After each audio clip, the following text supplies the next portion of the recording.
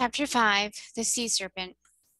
Just then, Trot happened to look up at the glass roof and saw a startling sight.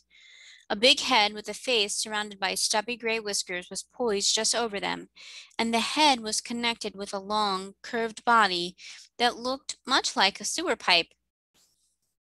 Oh, there is King Anko, said the queen, following the child's gaze. Open the door and let him in, Clia, for I suppose our old friend is anxious to see the earth people.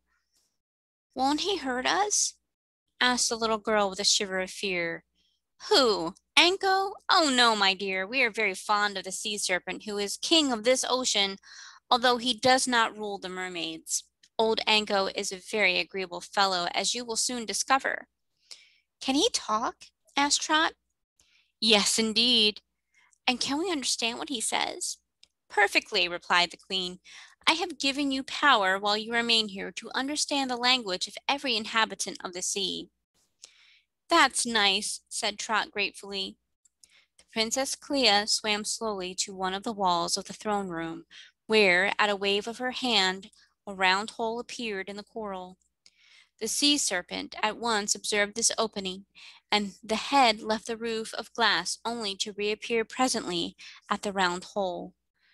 Through this he slowly crawled until his head was just beneath the throne of Queen Aquareine, who said to him, Good morning, your majesty. I hope you are quite well. Quite well, thank your majesty, answered Anko, and then he turned to the strangers. I suppose these are the earth folks you were expecting. Yes, returned the queen. The girl is named Mary, and the man Cap'n Bill. While the sea serpent looked at the visitors, they ventured to look at him. He certainly was a queer creature, yet Trot decided he was not at all frightful. His head was round as a ball, but his ears were sharp pointed and had tassels at the ends of them. His nose was flat and his mouth very wide indeed, but his eyes were blue and gentle in expression. The white stubby hairs that surrounded his face were not thick, like a beard, but scattered and scraggly. From the head, the long brown body of a sea serpent extended to the hole in the coral wall, which was just big enough to admit it, and how much more of the body remained outside, the child could not tell. On the back of the body were several fins, which made the creature look more like an eel than a serpent. The girl is young, and the man is old, said King Anko in a soft voice. But I'm quite sure Cap'n Bill isn't as old as I am. How old are you? asked the sailor. I can't say exactly. I can remember several thousands of years back, but beyond that, my memory fails me. How's your memory, Cap'n Bill? You've got me beat, was the reply. I'll give in that you're older than I am. This seemed to please the sea serpent. Are you well? he asked. Pretty fair, said Cap'n Bill. How's yourself? Oh, I'm very well, thank you, answered Anko. I never remember to have had a pain but three times in my life. The last time was when Julius Sneezer was on Earth. You mean Julius Caesar? asked Trot, correcting him. No, I mean Julius Sneezer, insisted the sea serpent. That was his real name, Sneezer. They called him Caesar sometimes just because he took everything he could lay his hands on. I ought to know him because I saw him when he was alive. Did you see him when he was alive, Cap'n Bill? I reckon not, answered the sailor. That time I had a toothache, continued Anko, but I got a lobster to pull the tooth with his claw, so the pain was soon over. Did it hurt to pull it? asked Trot. Hurt! exclaimed the sea serpent, groaning at the recollection. My dear, those creatures have been called lobsters ever since. The second pain I had way back in the time of Never Could Never.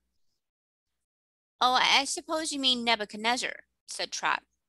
Do you call him that now? asked the sea serpent as if surprised. He used to be called Never Could Never when he was alive, but this new way of spelling seems to get everything mixed up. Nebuchadnezzar doesn't mean anything at all, it seems to me. It means he ate grass, said the child. Oh no, he didn't, declared the sea serpent. He was the first to discover that lettuce was good to eat, and he became very fond of it.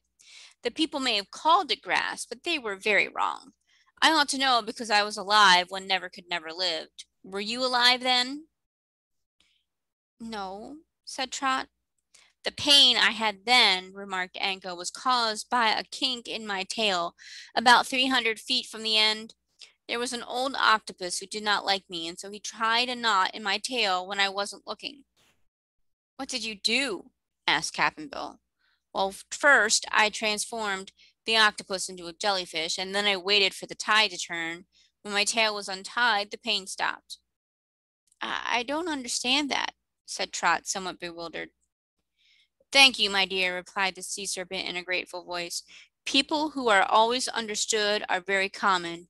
You are sure to respect those you can't understand, for you feel that perhaps they know more than you do. About how long do you happen to be? inquired Cap'n Bill.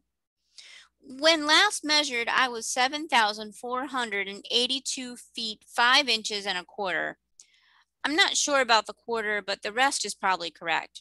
Adam measured me when Cain was a baby. Where's the rest of you then? asked Trot. Safe at home, I hope, and coiled up in my parlor, answered the sea serpent.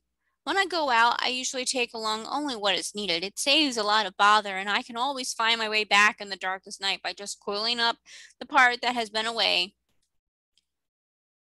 Do you like to be a sea serpent? inquired the child.